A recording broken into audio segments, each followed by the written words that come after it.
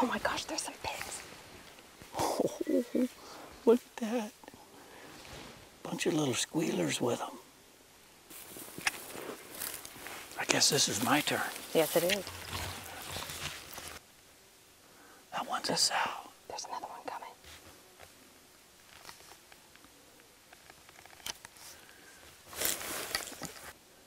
He's a boar. That's a that big one's a boar. Yep. I'm gonna smoke him. Gee, He's hit hard. Oh, you got him right on. nice. Oh my gosh, look at this boy. Huh? He's got a fair sized tufts here. Yep. yeah, he sure does. He's working on them.